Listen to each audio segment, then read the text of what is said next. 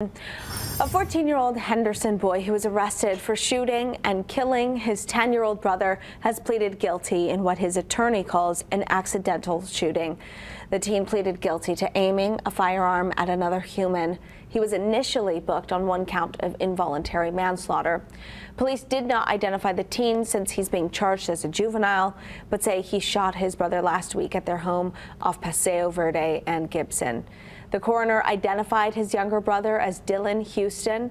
His attorney said prosecutors agreed to give him probation with a full dismissal of charges after serving that probation. His sentencing is set for next